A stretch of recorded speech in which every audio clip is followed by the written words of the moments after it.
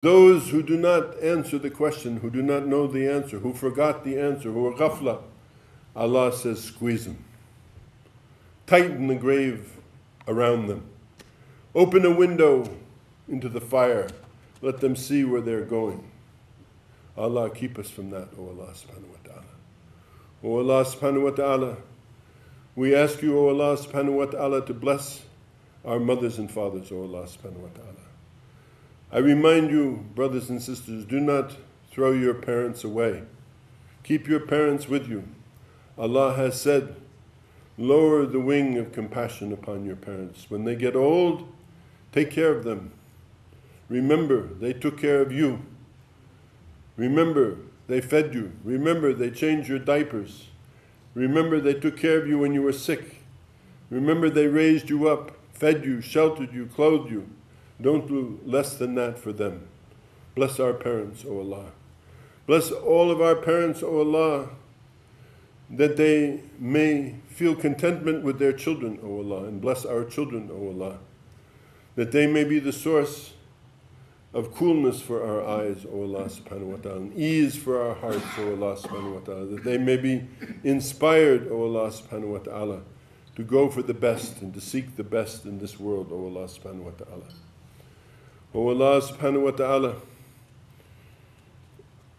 many of our people are imprisoned, O Allah subhanahu wa ta'ala, throughout the world, O Allah subhanahu wa ta'ala. We ask you, O Allah subhanahu wa ta'ala, to make it uh, in their hearts to understand that though people can lock you up, they cannot lock up your heart, and they cannot lock up your mind, and they cannot lock up your soul. So those of us who are in prisons, O Allah subhanahu wa ta'ala, throughout this world, O Allah subhanahu wa ta'ala, give them relief, O Allah subhanahu wa ta'ala. O Allah subhanahu wa ta'ala, we thank you, O Allah subhanahu wa ta'ala, for the food in our stomachs, O Allah subhanahu wa ta'ala, for the clothes on our backs, O Allah subhanahu wa ta'ala, for the roofs above our heads, O Allah subhanahu wa ta'ala, for the security of our lives in this place, O Allah subhanahu wa ta'ala. But we are mindful, O Allah subhanahu wa ta'ala, that you explain to us through your Prophet sallallahu alayhi wa alayhi wa sallam, that this is one community.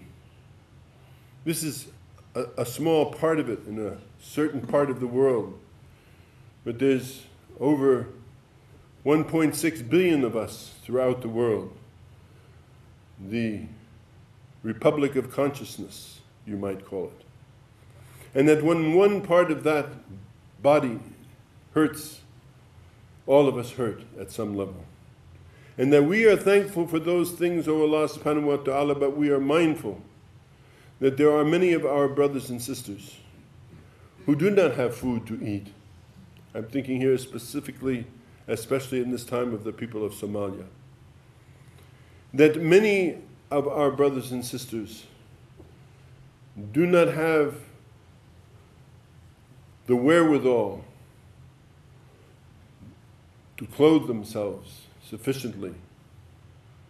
That worse than that, many of our brothers and sisters are living in insecurity, have no homes, or have homes that are subject to being invaded by obstreperous youth filled with testosterone who come in the middle of the night with the guns and put people up against the wall and scare the children, frighten the women, and do worse, and take away the men.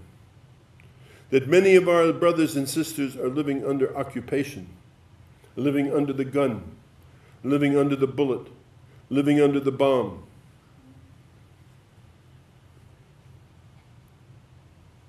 That their old people are humiliated on a daily basis, that their young men, especially, can find no work except pulling a trigger. Oh Allah subhanahu wa ta'ala.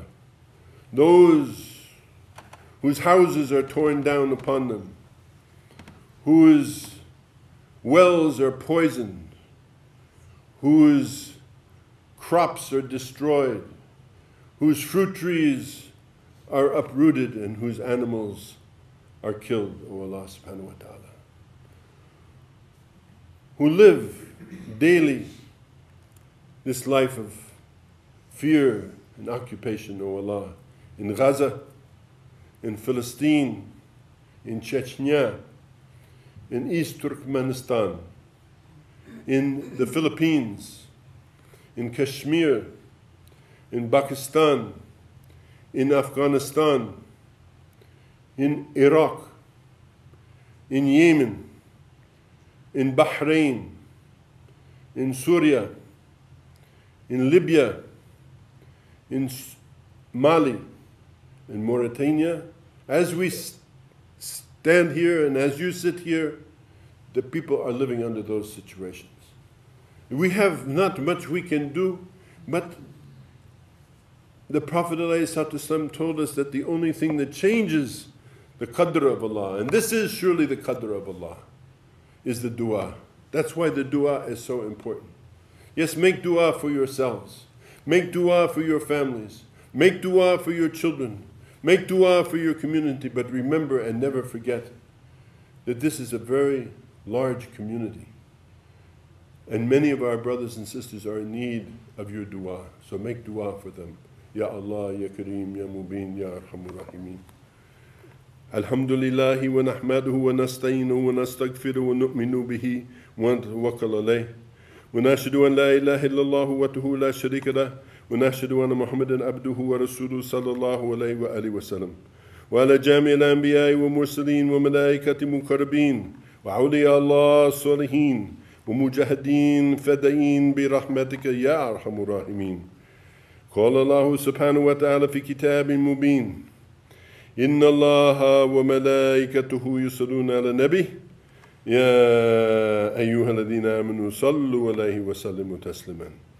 اللهم صل على سيدنا محمد وعلى آل سيدنا محمد. اللهم وارد عن ساداتنا الخلفاء الراشدين أبي بكر الصديق وعمر الفاروق وعثمان ذي النورين وعلى سيدنا الإمام علي كرم الله وجه وعليه السلام. وارد اللهم عن سيدنا الحسن وعن سيدنا الحسين وعن أمهما سيدات فاطمة الزهراء وعن آل البيت الكرام وعن أزواج نبيك طاهرة أمهات المؤمنين وعن صحابة صالحين وتبعين وتبعهم وعباد الله مخلصين بإسلام وإيمان وإحسان إلى يوم الدين عباد الله إن الله يأمر بعدل وإحسان وإيتاء ذي القربى وينهى عن الفحشاء والمنكر والبغي يعظكم لعلكم تذكرون وذكر الله أكبر وأقم الصلاة.